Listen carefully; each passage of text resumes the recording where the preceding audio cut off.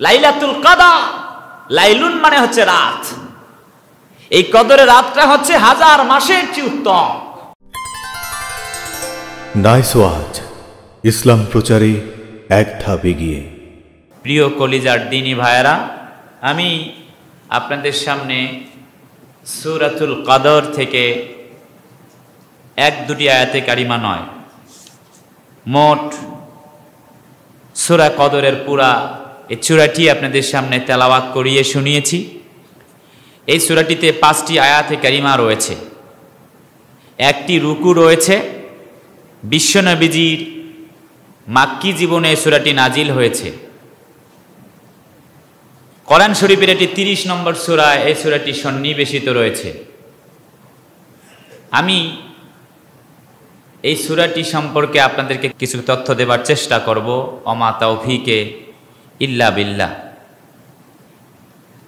এই সুরাটি বিশ্ব নবীজির মাক্কি ইনিংসে নাজিল হয়েছে। নবীজি যখন মক্কার জীবনে অবস্থান করছিলেন, ঠিক তখন এই সুরাটি নাজিল হয়েছে। এই সুরাটির মাহাত্ম, গুরুত্ব এবং ফজিলত রয়েছে। সেগুলি আমরা পর্যায়ক্রমে জানব। সুপ্রিয় তৌহিদি মুসলিম জনতার একাংশ, কলিজার টুকরা দিনী ভাই এবং বোন, বনি ইসরায়েলদের একটি ঘটনা রয়েছে। সেই ঘটনাকে কেন্দ্র করে আল্লাহ সুবহানা হুয়া তালা এই সুরাটি নাজিল করেছেন। বনি ইসরায়েলের একজন আবেদ পাঁচশো বছর শুধু জেহাদ করেছেন। পাঁচশো বছর শুধু রোজা রেখেছেন। পাঁচশো বছর শুধু তাহাজুদের নামাজ পড়িয়ে কাটিয়ে দিয়েছেন। ঠিক এমন একটি সময় ইন দি মিন টাইম এমন সময়ে রাসুলুল্লাহর সাহাবিরা যখন এই ঘটনা, এই বক্তব্য যখন নবীজি দিচ্ছেন মসজিদের মেম্বারে বসে, সাহাবিরা বক্তব্য শুনতে শুনতে অ্যাস্ট্রোনিজ হয়ে গেছেন, হতভাগ হয়ে গেছেন যে, কি বলতে চায়? নবী মোহাম্মদ সাসলাম আপনি কি বলছেন? তারা পাঁচশো বছর শুধু জিহাদ করেছে, পাঁচশো বছর রোজা রেখেছে। অথচ আমাদের জীবন জিন্দিগি বিশ, তিরিশ, পঞ্চাশ বছর, একশো বছর, একশো বিশ, তিরিশ বছর বা সর্বোচ্চ দেড়শো বছর হবে। যদি কেউ সর্বোচ্চ বাঁচে, তাহলে পরে এতগুলি বছর তারা ইবাদত করেছে, তার সমপরিমাণ মর্যাদা আমাদের তো কোনো দিনে হবে না, তার মানে আমরা আজীবন পিছিয়ে থাকব। এখনও পিছিয়ে থাকব, জান্নাতেও মনে হয় পিছিয়ে থাকব। ঠিক তখনই আল্লাহ সুবহানা হুয়া তালা সুরায় কদর নাজিল করে আল্লাহ তালার নবীজির উম্মদদেরকে সান্ত্বনা দিয়েছেন, জোরে বলেন সুবহান আল্লাহ কোরআনে আল্লাহ পাক ইন্না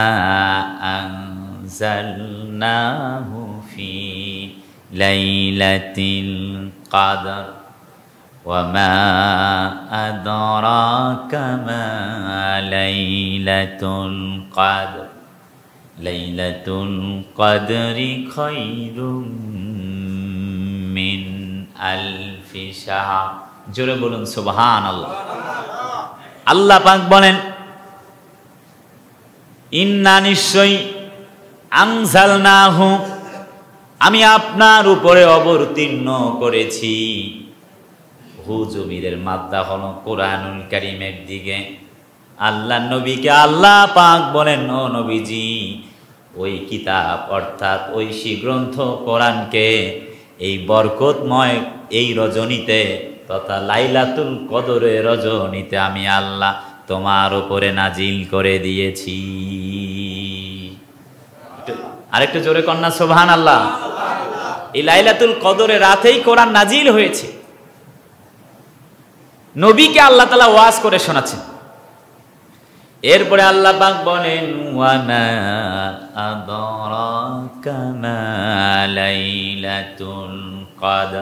হে নবীজি, আপনি কি জানেন এই কদরটা কি জিনিস? এর রাতটা কি? আপনি কি জানেন? আল্লাহ নবীজি কোনো কথা বলেন না। আল্লাহ পাক নিজে নিজেই প্রশ্ন করলেন আর উত্তর করলেন লাইলাতুল কদরি খৈরুম মিন আলফি সাহা ওগো নবীজি, এই রাতের গুরুত্ব আর মাহাত্ম এত বেশি। এই মাস হচ্ছে হাজার মাসের চেয়ে উত্তম। এই দিন, এই রাত, লাইলাতুল কাদা লাইলুন মানে হচ্ছে রাত।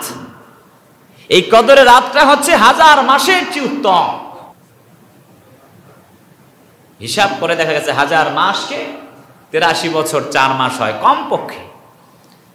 এই মাসের গুরুত্ব, এই দিনের গুরুত্ব, এই রাতের গুরুত্ব অনেক বেশি। রমজান মাস পেলাম, রমজান মাস দেখতে দেখতে শেষও হয়ে যাচ্ছে। আসলে আমরা কি পারছি গোনা মাপ নিতে? যদি না পারি, তাহলে আমাদের জন্য কপাল খারাপের কারণ। অনেক যুবক আছে, চার পাঁচটা করে গার্লফ্রেন্ড। আপনারা আমার কথা শুনতেছেন? মুরব্বী বাবা যাইরা, আপনারা অবলোকন করবেন কথাগুলি। আপনার সন্তান কোথায় যায়? কি করে? কার সাথে চলাফেরা করে? খেয়াল করবেন, খোঁজ নিবেন। তা না হলে কপাল খারাপ হয়ে যাবে।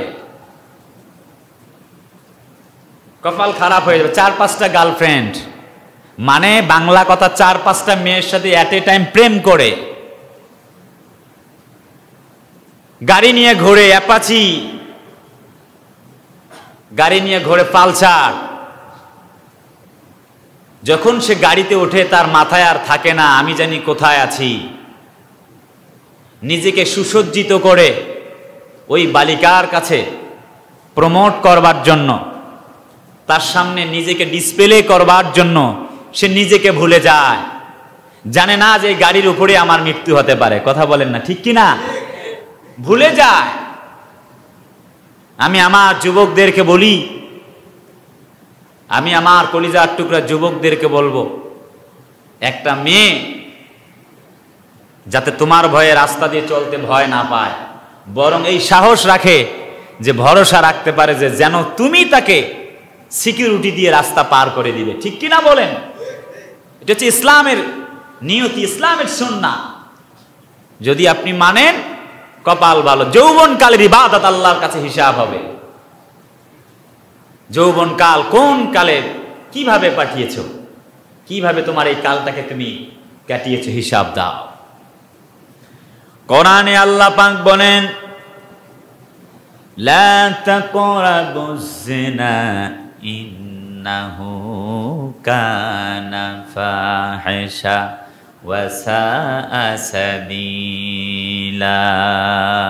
জোরে কোন আল্লাহ আকবার জেনার ধারের কাছেও যেও না। যুবক, তোমাকে বলছি, তুমি ফিরে আসো। তা না হলে কপাল খারাপ হয়ে যাবে। জাহান নামে থাকা লাগবে। কোরআন বলতে চায় জাহাদু ফিনা লানাহদিয়ান্নাহুম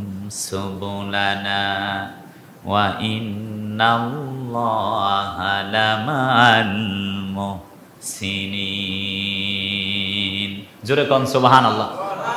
সূরাতুল আনকাবুত, শেষ নম্বর আয়াত।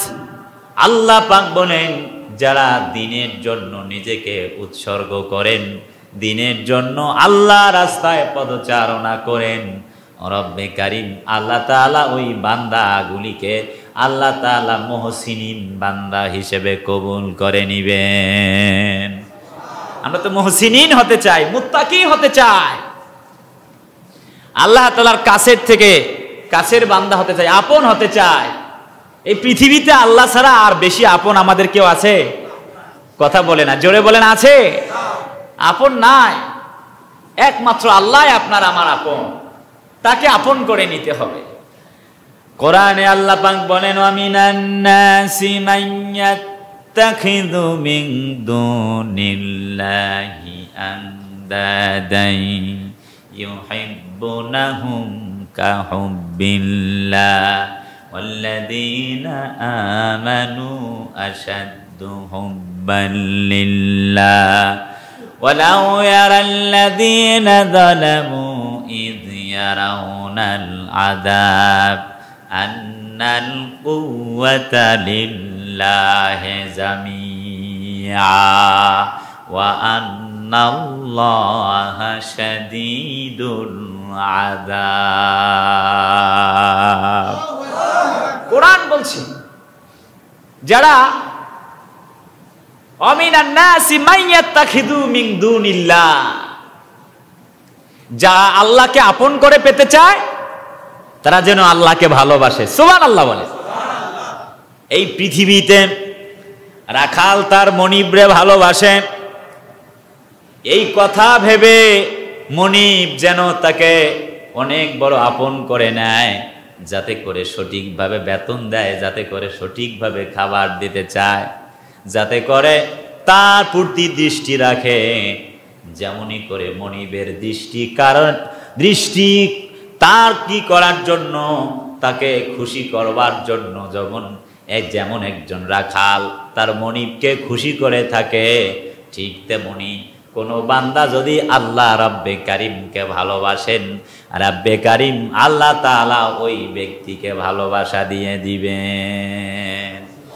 তার উত্তরে আল্লাহ পাক সূরা বাকারার একশত বাহান্ন নাম্বার আয়াতে বলেন, ফাযকুরুনি আযকুরকুম ওয়াশকুরুলি ওয়ালা তাকফুরুন সুবহানাল্লাহ। বান্দা, তুমি আমারে স্মরণ করো। আমি তোমাদিগকে স্মরণ করিব। আল্লাহ তালা শর্ত দিয়েছেন। বান্দা, তুমি আমারে স্মরণ করো। আমার না শুক্রিয়া করো না। রহমতের বৃষ্টি দিয়ে আল্লাহ আমাদেরকে ভিজে দেন। আমাদের উপরে বারাকা দেন। মাঝে মধ্যে বুঝান, দেখো বৃষ্টি দেই না। ধুধু মরুভূমির মতো হাহাকার হয়ে আছে। ফসলাদি হতে বড় কষ্ট। পানি সেচ দাও। যেন এমনটি বলো বারবার, আল্লাহ যদি একটু পানি দাও, রহমতের যদি একটু বৃষ্টি দাও, কতই না ভালো হইতো। ঠিক কি না বলেন? আল্লাহ তালাকে আপন করে নিতে হবে। তাহলে আমাদের জন্য যা প্রয়োজন উনি তা দিয়ে দিবেন। কর্মচারী যেমন তার মনিবকে খুশি করার জন্য কাজ করে, বান্দা আল্লাহ তালাকে আপন থেকে আপন করে নেবার জন্য কাজ করবে। আমরা রাজি আছি না নাই? রাজি আছি না নাই? আল্লাহ কবুল করো চোরে বলেন আমিন। আল্লাহ পাক বলেন, ওয়ালা তাত্তাখিদু মিন দুনিহি আউলিয়া কলিলাম মা তাযাক্কারুন সুবহানাল্লাহ বলেন। আল্লাহ বলেছেন, ওয়ালা তাত্তাখিদু মিন দুনিহি আউলিয়া। তুমি না তোমরা আমি আল্লাহ ব্যতীত আর কাউকে বন্ধু হিসেবে গ্রহণ কইরো না। এ বক্তব্য কার? বোঝেন নাই কথা। আল্লাহ বলছেন কোরআনে, তোমরা আমি আল্লাহকে ব্যতীত আর কাউকে বন্ধু হিসেবে গ্রহণ করিও না। তার মানে কথা হন আল্লাহ পাক বলেন, ওয়ামা ওয়াল ইনসা ইল্লা লিয়াবুদুন আমি জিনের আর ইনসানকে এই জন্য সৃষ্টি করেছি যাতে করে একমাত্র তারা আমি আল্লাহ ব্যতীত আর কারোর ইবাদত না করে থাকে। জিন আর ইনসানকে একমাত্র আমার ইবাদতের জন্যই সৃষ্টি করেছি। ইল্লা আলিয়া আবুদুন আমি আল্লাহর ইবাদত ছাড়া আর কারও ইবাদতের জন্য সৃষ্টি করি নাই। এই বক্তব্যটা কার? আল্লাহ পাকের। আমাদের খাওয়ান কে? পড়ান কে? আল্লাহ খাওয়ান, আল্লাহ পড়ান। আমাদেরকে জীবন দান করেছেন কে? মৃত্যু দিবেন কে? আল্লাহ। সব কিছু যদি আল্লাহ হয়, সে আল্লাহর ইবাদত করার দরকার আছে না নাই? তবু মানুষ ভুলে যায়, কপাল খারাপ। কলিজার ভাইরা আমার, বাস পচার আগে, লাশ পচে যায়, এই পৃথিবীর মানুষগুলি জানে। ছয় মাসের আগেই তার লাশটা পচে গেল। বাসটা অন্তত এক, দেড়, দুইটা বছরের জন্য থেকে গেল। আস্তে আস্তে করে বাসও পচে যাবে। কলিজার টুকরা দিনই ভাইরা আল্লাহ পাক কোরআনুল কারিমের মধ্যে বলেন, কাইফা تكفرون بالله وكنتم أمواتا فأحياكم ثم يميتكم ثم يحييكم ثم إليه ترجعون জোরে বলুন আল্লাহু আকবার কিভাবে তোমরা আমি আল্লাহকে অস্বীকার করো অথচ তাকায় দেখো তোমরা ছিলে নিষ্প্রাণ, আমি আল্লাহ তোমাদের জীবন দিলাম। তোমাদের মৃত্যু দেব।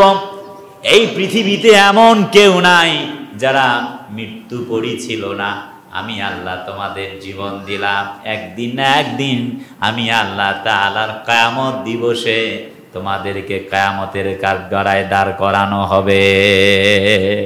ঠিক কিনা বলেন? সকলকে উঠতেই হবে। কেয়ামতের দিন। সেই দিন ফাঁকিঝুঁকি করবার কোনো সুযোগ থাকবে না। আজকে যত ফাঁকিঝুঁকি করছি, সেদিন আর কোনোভাবে সুযোগ থাকবে? একটু বলেন না, জোরে বলেন, থাকবে? থাকবে না। সেদিন নিরু- নিরুপায় হয়ে যাবে।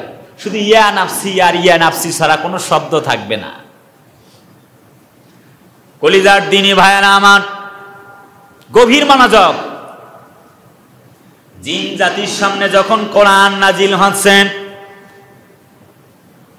আল্লাহ পাকের নবী এই কথা জানাই দিলেন, কুল উহিয়া ইলাইয়া আন্নাহুস্তামা নাফারুম মিনাল জিন্নি ফাকালু ইন্না সামিনা কুরআনান আজাবা। যখন নাজিল হচ্ছে জিন্দা জাতিদেরকে লক্ষ্য করে আল্লাহ কোরআন বলছে। শুধু কোরআন শোনাচ্ছি আপনাদের, কোরআন শুনলেই হেদায়েত হবে। সুবান আল্লাহ বলেন। কিচ্ছা কাহিনী শুনলে হেদায়েত আসবে না। কলিজার দিনই ভাইয়ারা, কোরআন শুনছে জিনেরা।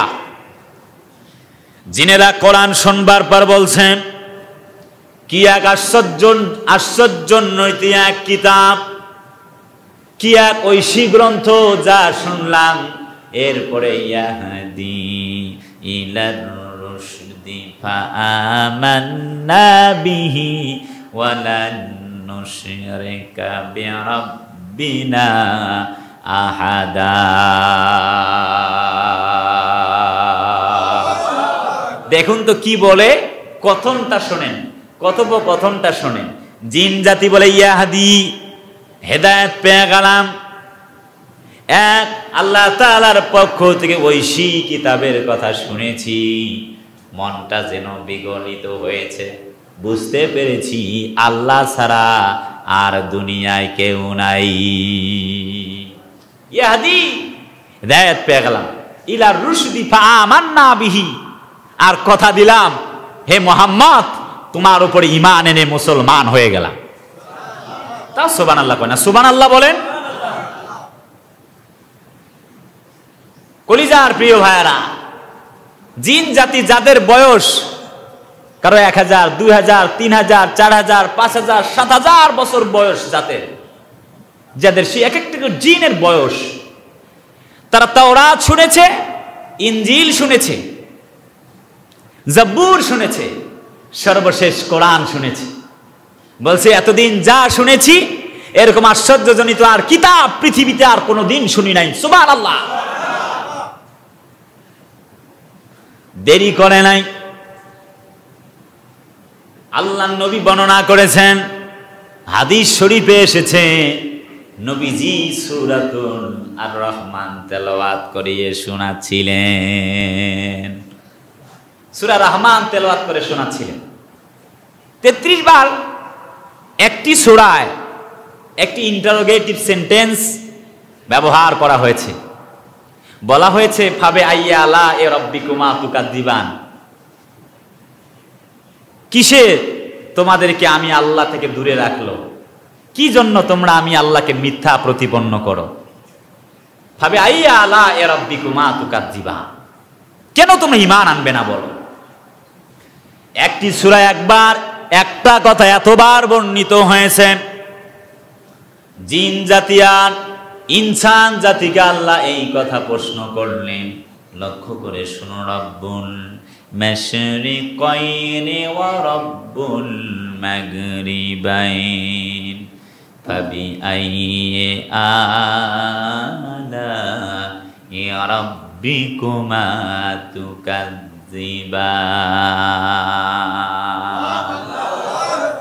রব্বুল মাশরিকাইনি ওয়া রব্বুল মাগরিবাইন এত দু ভয়ে যা দেখা যায়। চন্দ্র, সূর্য তারকারাজি যা দেখো, সব কিছু কার? একটু আপনারা মুখ খুললে বলেন না কার? আল্লাহর। আল্লাহর বলতে কি লজ্জা করে? হ্যাঁ আপনার আমার তো কিছুই না।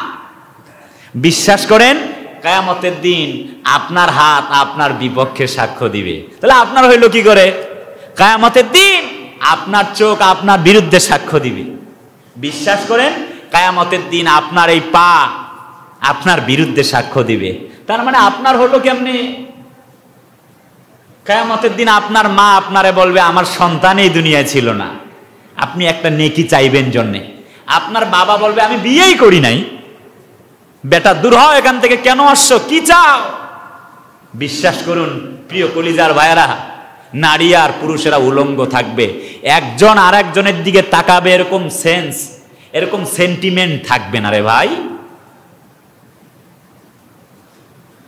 দিনে ভাইরা আমার, যখন নবীজি কোরআন তেলাওয়াত করে শোনাচ্ছিলেন ফাবি আই আলা রাব্বিকুমা তুকাদ্দিবান যখন তেলাওয়াত করে নবীজি শোনাচ্ছিলেন আল্লাহ নবীজি যখন তেলাওয়াত করেন কোরআনুল কারীম থেকে মারাজাল বাহারাইনি ইয়ালতাকিয়ানি বাইনাহুমা বারযাখুন লা ইয়াবগিয়ান। ফাবিআইয়ি আলা'i রাব্বিকুমা তুকাজ্জিবান মারাজাল বাহারাইন দুটি সাগরের পানি একসাথে চলে। এই পৃথিবীতে আল্লাহ তালা মানুষদেরকে দেখিয়েছেন। আপনারা কি বুঝতেছেন আমার কথা? দুটি সাগরের পানি একসাথে চলে।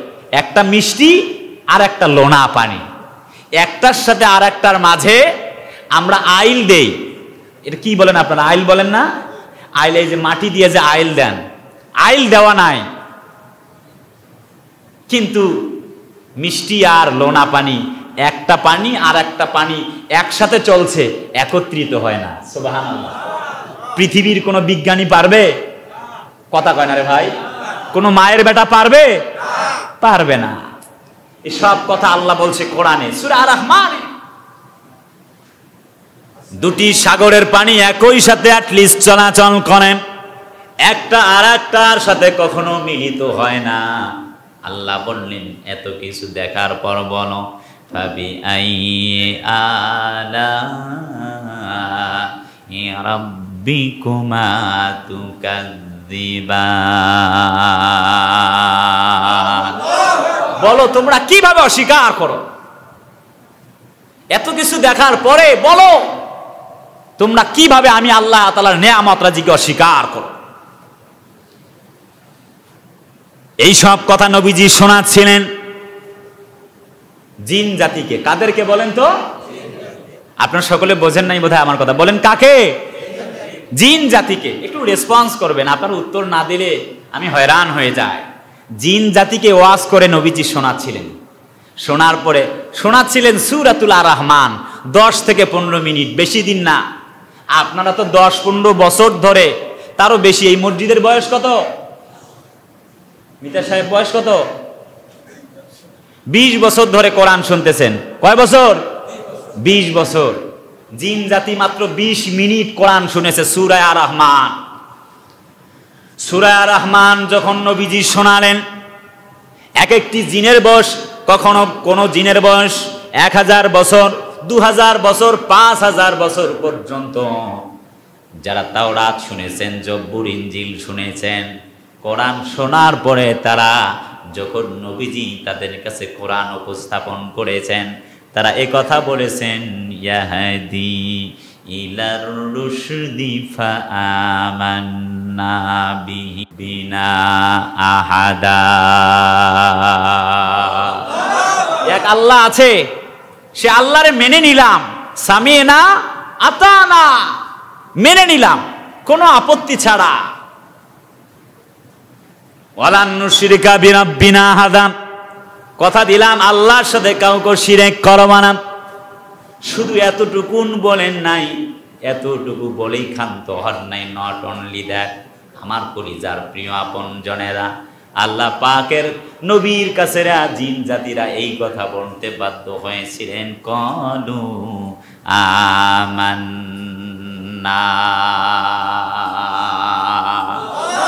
সাথে সাথে ইমান আনলাম। সুবান আল্লাহ বলেন। ইমান এনেছেন জিন জাতি। মাত্র ২০ মিনিট সুরা রহমান শুনি। আর আমরা ২০ বছর কোরআন শুনলাম। আগেও যেমন এখনও তেমন। আগেও নামাজ পড়ি নাই, রমজান মাস চলে যাচ্ছে এখনও নামাজ পড়ি না। আমাদের চাইতে কপাল পোড়া দুনিয়ায় আর একটাও নাই। ঠিক কিনা বলেন? চরম বাস্তবতা। আল্লাহ পাকের কোরআন বলে, ইন্না আলাইনা লাল হুদা।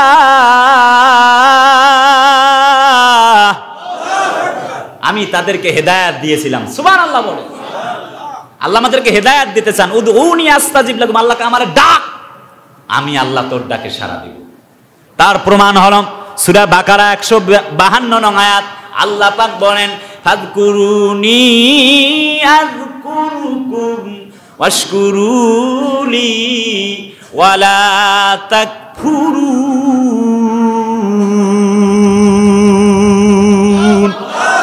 বান্দা, আমারে তোমরা ডাক, আমি আল্লাহ কথা দিলাম, আমি আল্লাহ তোর ডাকে সাড়া দিব।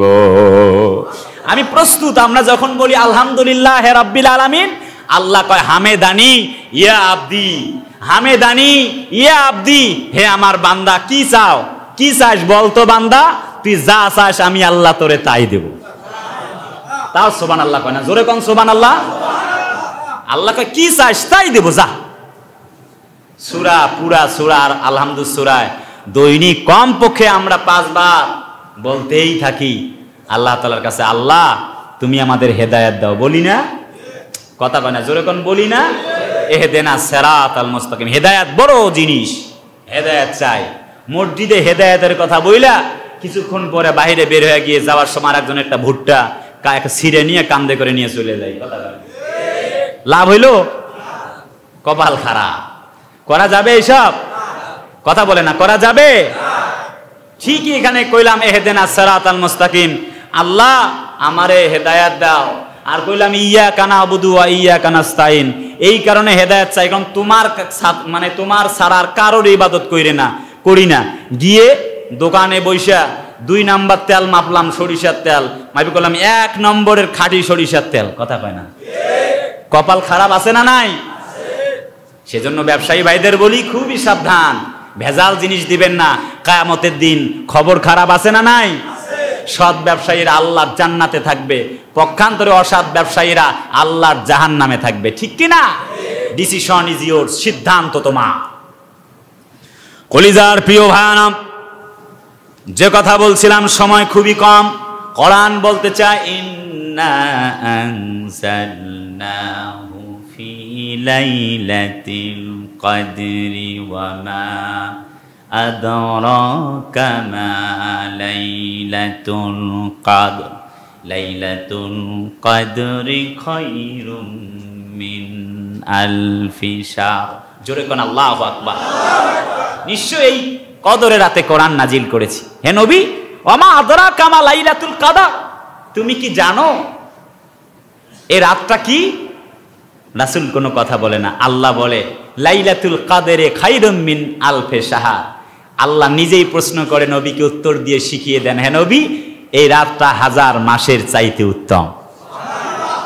তাহলে এবার বলেন, এই রাতটা তালাশ করার দরকার আছে না নাই? এই রাতটা ইবাদত করার দরকার আছে না নাই? আছে। শুধু আমরা সাতাইশে রজনী, সাতাইশে রাত মনে করেই বসে থাকি। ওই রাত আসলে একটু ইবাদত করব। অথচ নাবি কারিম সাসলাম একুশ, তেইশ, পঁচিশ, সাতাশ, উনতিরিশ এই বেজোর রাতগুলিতে লাইলাতুল কদরকে তালাশ করেছেন। কোন দিন পাবেন?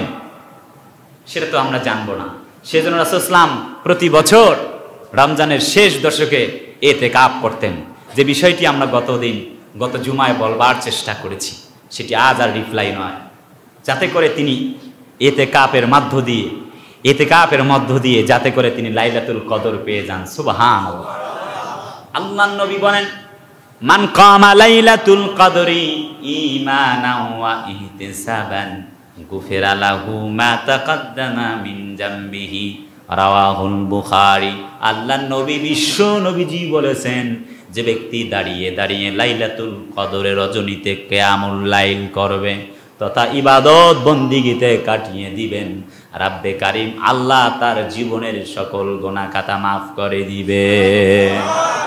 পূর্বে যা গোনা করছি আমরা সব মাফ হবে। এটা গুরুত্বপূর্ণ এক রজনী। এই রাতে কোরআন নাজিল হয়েছে।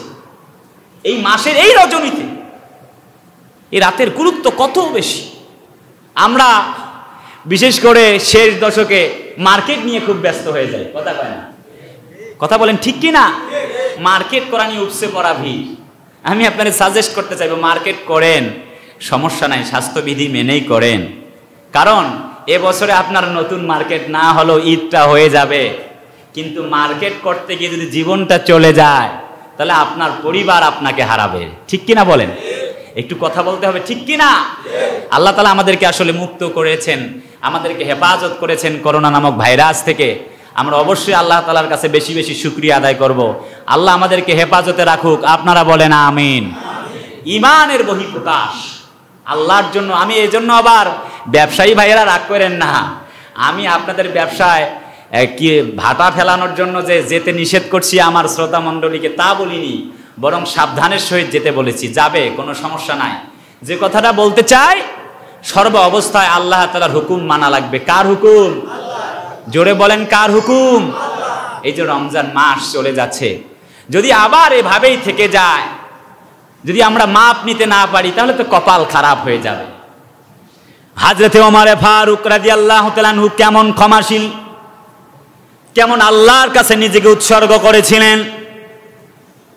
ঈদের দিন, তার কয়েকদিন পূর্বে কোরবানির হাট তিনি চলে গেলেন, কোরবানির হাটে। শুনতেছেন আপনারা? কোরবানির হাটে হজরত ওমর। দেখতেছেন ঘুরে ঘুরে। উটের দাম কত, এটা এভাবে দাম করে। মুখটা বান্দা সুবান আল্লাহ বলেন। একজন রাষ্ট্রনায়ক, গামছা দিয়ে মুখ বান্ধা, জিজ্ঞেস করতেছে, এটার দাম কত? কাম হাজা, এটা কত? সামনে বলছে, কাম হাজা, এটা কত? দাম করতেছে। এক পর্যায়ে সামনে গিয়ে দেখে তার নিজের ছেলে উট নিয়ে দাঁড়িয়ে আছে। হিষ্ট বিষ্ট এক বিশাল দেহে উট। বলছে, কাম হাজা ইয়া আপনি এটা কত বেটা? বলছে, এটা এত টাকা দাম, অনেক টাকা চেয়েছে। আচ্ছা আচ্ছা ঠিক আছে। নেবেন নাকি? হ্যাঁ জি, নিমু তো, নেওয়ার জন্য এটা আসছি। কিছু দূর সামনে গিয়ে গামছাটা খুলে আবার ফিরে আসছে। ছেলে দেখে বলছে, ওরে বাবা, আজকে খাইছে। কথা কয় না। রাগ কমলা মানুষ না বেশি? কথা কয় না, কম না বেশি? বেশি। আজকে খবর খারাপ আছে। বলছে, বেটা এখন দেখছি উটের ব্যবসায়ী হয়ে গেছে। না বাবা, উটের ব্যবসায়ী হয়ে যায়নি বাবা।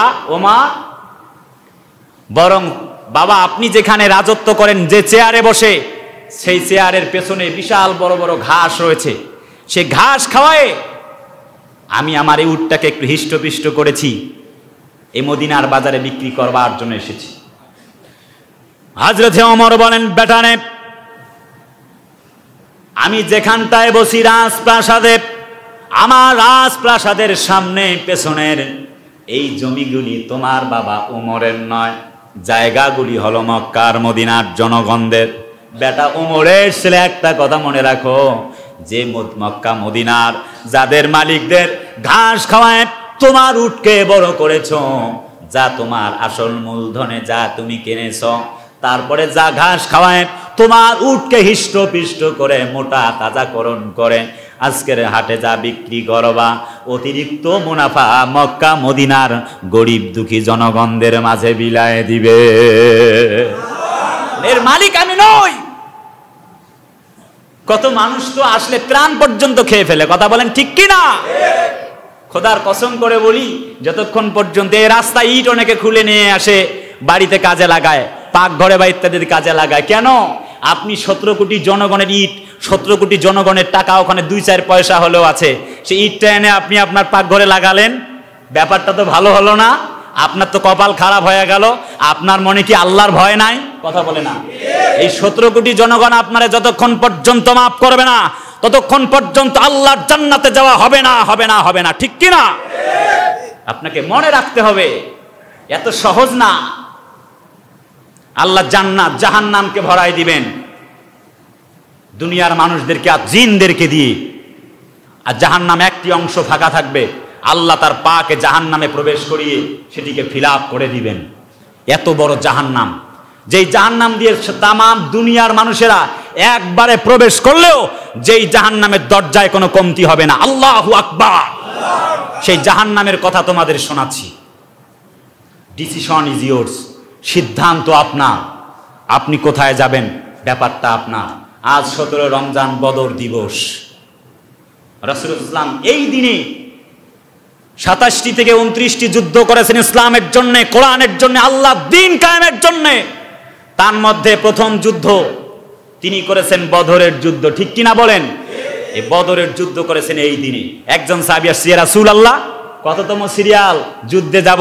কয়, তিনশো দশ জন হয়েছে কয়, এগারোতম সিরিয়ালে আমার লিখে দেন নামটা সোবান আল্লাহ নবী বলেন, নতুন বিবাহ করেছ, ফিরে যাও। সাহাবি বলেন ইয়ারা সুর আল্লাহ জীবন দিতে পারি, একটি মুহূর্তের জন্য ফিরে যেতে পারি না। সুবান আল্লাহ বলে